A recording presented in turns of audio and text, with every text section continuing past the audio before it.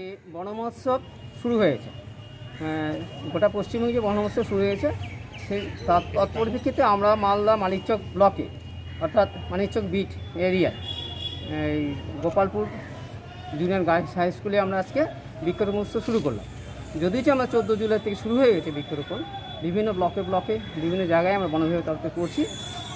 সেই সঙ্গে আজকের এনজিও হ্যাঁ trust for child and development সোসাইটির উদ্যোগে উন্নয়নের পূর্ণ সহযোগিতায় আজকে আমরা এখানে বৃক্ষরোপণ শুরু করলাম।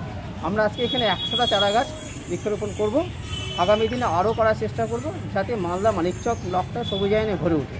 সেই সঙ্গে আপনাদের সঙ্গে যে মিডিয়ার মারফত দিয়ে আমরা অনুরোধ যাই বিভিন্ন স্বেচ্ছাসেবী সংস্থার কাছ থেকে, আপনারা যেখানে গাছ লাগাবেন, আমাদের বলবেন, আমরা চারা গাছ ফ্রি অফ কস্টে চোদ্দ থেকে কুড়ি জনের মধ্যে দিতে পারব।